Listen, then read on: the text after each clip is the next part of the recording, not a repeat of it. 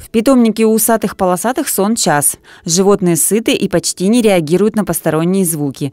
Некоторые из кошек здесь недавно, у них пока нет даже клички. Как, например, у этого милого пушистого животного с разноцветными глазами. В приюте кошка находится меньше недели.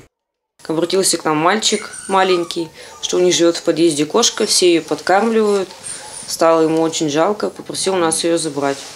Добрая, ласковая, она быстро обжилась с соседками. Правда, иногда все-таки приходится показывать характер и шипеть. А эта парочка неразлучна не только с момента проживания их здесь, в вольере. Кошек привезли из одного коллективного сада. Когда-то и хозяин у них был тоже общий. Эти две кошечки к нам приехали с поселка Вересовка.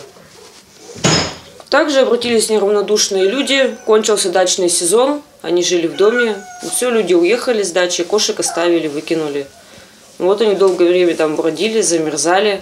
Волонтеры не знают, достанется ли этим кошкам один хозяин и будут ли они по-прежнему неразлучны. А эту красавицу с мраморным рыжим окрасом зовут Пандора. Но, несмотря на роковую кличку, кошка очень спокойная и ласковая. Правда, иногда ей так и хочется вырваться из объятий волонтера и побегать вне вольера. Нашли мы ее на Диносе.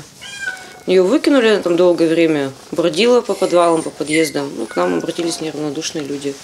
За месяц, пока Пандора в питомнике, она успела подружиться с соседом, который по стечению обстоятельств тоже рыжий. Поскольку кошка долгое время бродяжничала, волонтеры не исключают, что она умеет ловить мышей.